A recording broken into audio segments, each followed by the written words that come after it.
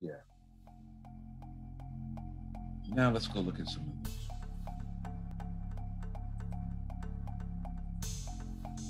All right. So we're looking at, I don't know where this little piece comes from. I found it somewhere. But you know, you can read these pieces, but I really put it up here so that you can see the map here in the center. At one time, as you all know, right, through plate tectonics, like I described, the world was really one, you know, one a piece, you know, one solid. And then what you call the Atlantic Ocean was a river, a huge river. And this one doesn't do a very good job of seeing it, but let me see if I can't get my pen actually. Right, but this particular river, you know, all that, and then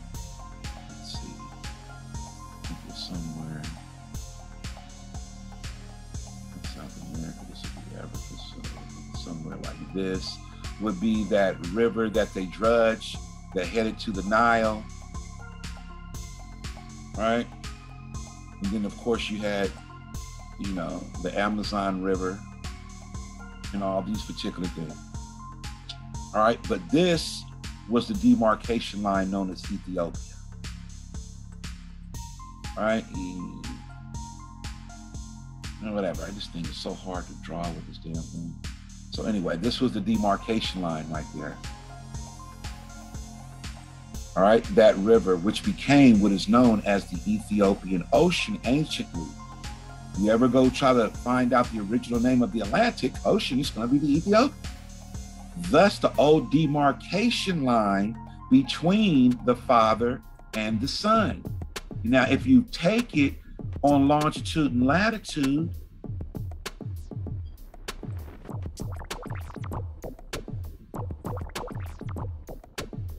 okay, so kind of, you kind of see it a little bit better over here also. All right. And this is what, how they divided the land between the father and the son was that uh, natural river, but of course they, you know, gridded it because you're dealing with people who uh, had already built pyramids on the planet, right? And any people that know phi and psi could map out the entire planet, okay, under a grid line known as longitude and latitude. You can't even create a proper pyramid without knowing longitude and latitude of the landmass when the pyramid over here in Africa, you know, that we set up for an energy plant is at the center of the planet and laying on a ley line, as they say, and we understand that was really a Bey line because these fools change everything. And it was the Great Beys who established all those particular cities that lay on these so-called ley lines, but they're really Bey lines. Right? So anyway, so this was how it was divided up between the father and the son. Kush got all of this over here, which also included, you know, uh, India, you know, and uh, uh, this portions of Africa, while Ham got what is known as over here the the Maghreb part of that Africa too. That's why we were able to come from North America, as it says in in page three of your of your Quran. You know what I'm saying? It was we came from North America. Then we you know, we're already over here. Then we established Morocco, Algiers, Tunis, and Tripoli and then went up into Europe as far as um, what they're considering Spain. Why not all the way up in there? Is because it wasn't a part, all of that wasn't a part of the area in which we got anciently from our father. Can't be going up the Cushish area doing certain things. You can only dominate your area. And if you ever peak game, we were always dominating and trying to, you know, clear people away from this particular corner of what Ham's land once was. Always coming over here to Ham's land, which is the Moabites now, because that's what it was handed to, which is us, the Moors. This is why the prophet put in your birthright or your landmass or your mandate. It's another reason you got to get one of our Qurans so that you can have a proper mandate, right? As a Moorish American, right? You want to have somewhat of a uh, claim over on your land. But anyway, so from Ham, the ancient, right, Egyptians, Mizraim, the rest of them all being in the same bloodline, and then to the Moabites, the ancient ones who created what? The founders of what? The holy city of Mecca and Islam, right? Was transferred to, and these people are known today as Moorish Americans or Moroccans who were born in America. Why America? Because it's always been that way. Now let's go. Let's go a little further. Are y'all with me? Did that make a little bit, a little better sense for you? So I'm not going to. Islam. Islam. So the Prophet Noble Drew Ali gave you everything in this book, but we have to understand a little bit better from a little bit more intelligent lines of communication, which means for us to start really understanding what this means. So Canaan, this was Canaan, the land of Canaan. It's a little bit bigger. These are the Merkur maps. It's good to go get you the Merkur maps if you really want to see what this land looked like prior to the European flipping everything upside down and turning it inside out to fit his narrative because he just came on the scene and didn't really have any ancient historical land rights. You understand? So he had to invent himself into history somewhere to get that. So, anyway, this would be including all of this part over here, which would be like what you consider Russian Asia. This would be Alaska. This is the California or Canaan, you know. But anyway, you're looking at Mount Meru or the top of the world of the North Pole, where they say these land masses are not there, which they really are. And these are the four rivers of what people consider the Garden of Eden or where all life began from. And it ran to the four corners of the world. This was actually the ancient meridian uh, this was actually the ancient lines that were once drawn to separate the entire land masses of the world. So if you come over here, and you keep going down, you're going to have the north. You're going to are the north. Let's just do it like this. Let's just do this like east, right, west, and then obviously, you know, as we comprehend it today, this is how this looks. But back then, it was flipped upside down because that's the way it really looks. But anyway, so what we're looking at too is the dividing of the entire land masses of all the planet when at the top of Mount Meru because of this particular structure. And you're also looking at a circle seven, like I explained to you. You know, it's a map, it's a whole lot. It's a key to you unlock your vast estate, but it's a whole lot. Right? So, you know, the seven kind of being right here. All right, so anyway, you can come in from the East, Muhammad, Buddha, you know I'm saying, Confucius, Jesus, Muhammad, you know, all these particular things. If you ever look at the land masses, it breaks up into those areas of those particular uh, prophets. It's kind of tight.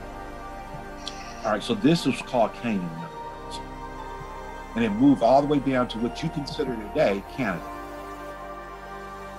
We're going to get into what the Prophet Noble Drew described as your vast territory and your vast estate. First and foremost, it's good to get a little understanding of north, east, south, and west. How did they even determine that? There's a thing called the prime meridian, and it's at zero, and it's right here in the center. Let me get my little pen actually All right, so right here, it's called the prime meridian.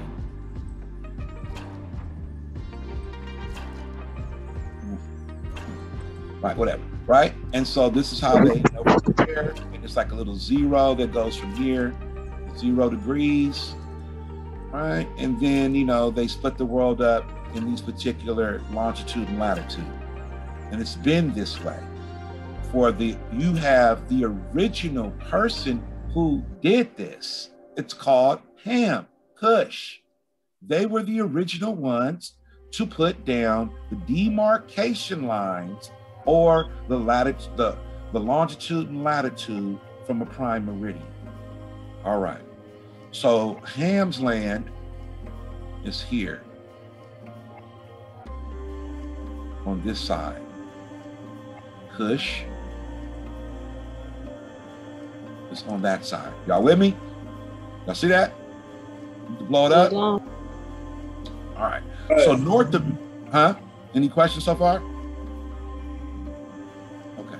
So North America is in the northern hemisphere because it's north of the equator. This is the equator, that line going all the way horizontal.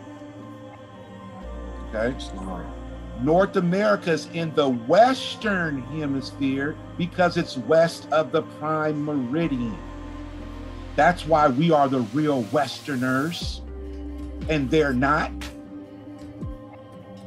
You know, they be always taking your name and you be getting angry, you know, later because they didn't dirty macked it. Now they call the men of the West and all you see is Europeans and you think, oh, I'm the man of the East.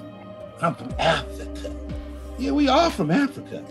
Everything, everything, everything. Where's my little pen pen?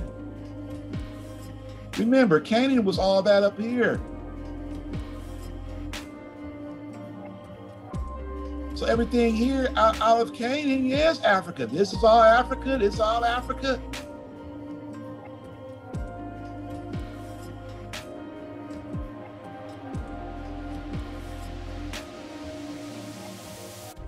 All right. So now that we're breaking down, let's go let's go back to our Quran. Let's go back to our Quran, everybody. Very important that you start to see this. So number four, now because it's giving you longitude, latitude, uh, uh, coordinations, northeast, southeast, northeast, southeast. Y'all seeing this? North, east, south, east was whose dominion, everybody? Cush. Okay. What about everybody else? Am I boring y'all right now? Mm-mm. Okay. No. No, nope, nope. Because you know, I mean, a little no. no, no, We All here. All right. So then it says, then it goes on to say northwest, northwest and southwest was his father's dominion. So all of this over here at one time was Ham's dominion. But even gets even more specific for us. Now, number six, look what he says. It gets more specific. The Moabites. We know that we are Moroccans born in America of the ancient Moabites from the land of Moab, all up here, like I showed y'all earlier, okay, who received permission from the pharaohs of Egypt. And where were the pharaohs of Egypt?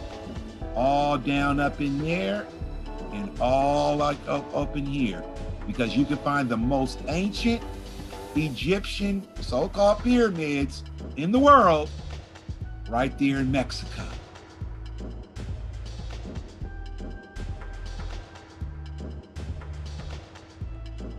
They are saying Mexico today. Now, says the Moabites from the land of Moab received permission to sell and inhabit north, inhabit northwest. To inhabit where, y'all? Northwest. Okay, so where would that be? Is that over here? Is that over here? Um, no, it's not over here. Where's Northwest? No, sir. It's in the no. other side in the in the land of Ham. In the land of Ham. Okay. Where? Oh, down here. Is, is it Northwest? Is this the Northwest? No, so no, sir. That's north south. That's uh southwest. That's right. So Northwest then is here. North America, Islam is. Now keep it out. Look how much that is. Excuse me. Gotta go right there. Gotta go right there on that line. It's this quarter this quarter of the map is considered the Northwest. Now, how do we know Noble Ali knew this? Chapter 45, if you ever read it, all the places he talks about are right there in the people. Right, two. All right. But does he even say this in our Quran? Yes, northwest. But what does he say? What more does he say, though, that can strengthen that? Chapter 45, please turn to real quick. The divine origins of the Asiatic nation. It says in uh, number five, the Asiatic nations and countries in North, South, and Central America, the Moorish Americans and Mexicans, where? Where, y'all? North America.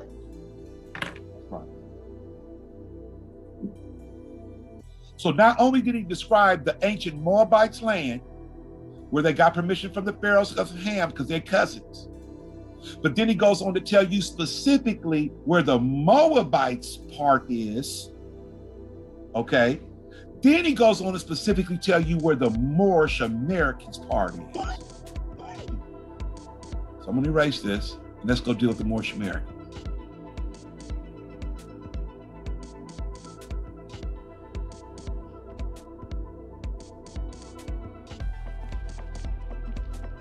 All right, we're going to leave this wonderful map and go to this wonderful map. This is even better for you. Because it breaks down specifically what the prophet said. Everybody whip out their their uh, uh, the divine constitution and bylaws. Somebody, somebody read Acts 6, the last paragraph. Uh, we're not. We won't move on until we get us a good volunteer to read the last sentence in uh, Acts 6. I got it. Okay, please go right are the descendants of the ancient Moabites who inhabited the northwestern and southwestern shores of Africa. So tell me, where is the northwestern and southwestern? North, North America and South America. Islam? Well, and the Caribbean islands. Yes, yes. Central America. Yes, to that's right. But look at it though. But what you know, say, but what part? We're, we're really speaking about. See this? Yeah, yeah, yeah. Islam. I'm gonna say Islam. Islam to the whole shot. But when we're specifically speaking about us as Moorish Americans too, we're speaking the northwestern and southwestern, right? So the northwestern, western hemisphere, southwestern hemispheres, right? But when we're specifically speaking about America, we're talking about North America. Now that gets right here because this is the southwestern, it's really right here for us. Not really all this down here, even though anciently we can. But let's just worry about this gigantic landmass up here. And remember, why did we have Morocco, Algiers, Tunis, and Tripoli? Why was the ancient royal Maghreb right here? And then I got I showed you guys the maps a, a while ago, which I'm going to repost, where was ancient Jerusalem, right, with uh, Mansa Musa sitting on all that gold, ancient Jerusalem, and all that being a part of this area right over here, because it was still a part of our empire. That's why we were able to go conquer Spain and Germany and all that because we were conquering everything in our empire, including the, these tips of South America. All of this was us. That's why we came from where it says, and I'll read it for you real quick, so we don't be, you know, guessworking here. On page three of your Quran, your this divine and lovely our uh, law in our book. Praise Allah for it. It says, the on, on page three, it says the industrious acts of the Muslims of Northwest. Now you can see it. Southwest Africa. Well, there is no such thing as the Southwest Africa as we know it today. I just proved that. There is no such thing as the Northwest Africa today. I just proved that. Other than at the one time when all the continents were together and everything was out uh, Africa. And that's from the point of view of the prophet. That's why he said ancient. But you got to move it into its modern term. That's why he gave you northwestern, you know, southwestern shores, northwest, so that you can distinguish the Africa anciently in which he's speaking about would be America. Am I making sense? Islam. All right. So he says these are the, Islam. These are the Moabites, Hamathites, Canaanites who were driven out of the land of Canaan. Right? Driven does not mean a bad thing. Driven actually means escorted. Hmm. Keep that out. So driven out of the land of Canaan by Joshua and received permission from the pharaohs of Egypt to settle in that portion of Egypt. Wow. So Egypt was in control of all of the world. Egypt was the world. It was a world empire. It was the world empire, as a matter of fact. In later years, they formed themselves kingdoms. These kingdoms are called this day. Now, peep it out. Where were they first? They were in where? Northwest and Southwest Africa. We just proved that is America, the Americas. And then they, in later years, they formed themselves kingdoms. Then in later years, they were in North over here, right? Doing their thing. You know what I'm saying? Over here, you had the, you know, uh, so-called Cherokee, whatever, you know, these little tribal names or whatever you may want to call it. It was still us as uh, Moabites in the Moroccan Empire, right? And then later years, we came over here and we established uh, the Royal Maghreb, or the Maghreb, meaning of the far west. Now you understand why, or you can even call this the West. Even when it's in Africa, it's still the West. So when we say we're of the Maghreb, meaning of the West, this is still true even when you over here in so-called Africa or so-called Europe.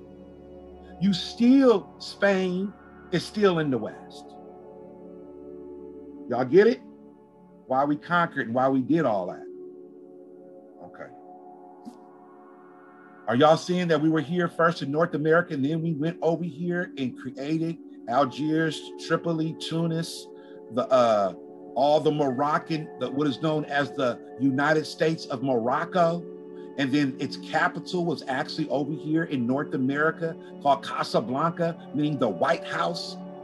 That's where they get the term White House from because it was once called Casablanca. Moorish Palace. Mm. Islam. All right. Interesting. So we got to really understand the prophet was correct. We, if we keep constantly go outside of our own stuff, then we're gonna get kind of mixed up. But you got to take your time and understand your geography, understand your topography, and understand what he's talking about when he says on page three that the Moabites, Hamathites, who were the Egyptians too, Canaanites, who who were driven out of the land of Canaan by Joshua and received permission from the pharaohs of Egypt to settle in that portion. But where were they? The Muslims of Northwest and Southwest Africa. All right, all this was Africa though. All right, so anyway, hopefully I kind of pounded that point in because this map right here is one of the best, one of the better ones. And maybe I should print this out for everybody or get a hold of it and kind of put that in right there at the end of your Quran in chapter, uh, you know, straight up, you know, as a as a teaching degree, so you can know where your landmass is. All right, so let's go on further though, because the prophet now that we understand a little bit better of chapter 47, the northwestern, southwestern, and Act six, and page three, when he gives all of these uh, longitude, latitude, or uh, descriptions of land um, areas that are yours. Now, this is what is known as North America. Every single thing you see here, including Greenland, that's us, my people. So when I put on the publication that we, because the prophet said after you do it, then you're supposed to claim. So I put on the publication, we claim all of North America under our treaty, I mean, excuse me, under our deed and the prophets. Now, am I going too far? No, I'm not going too far. Is this too believable? Only for the fools who who still believe, right, that they are not worth anything.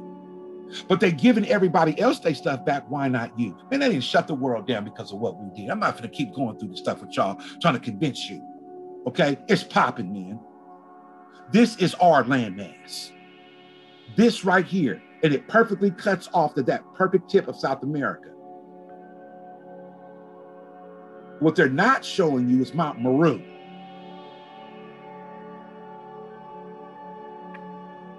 So breathe it in, your birthright. When the prophet said, I've given you back your vast estate. Then he tells you, I've given you back your name, your vast estate, your religion. What else do you want him to do? Kill you? So you can be born back in when it's all good?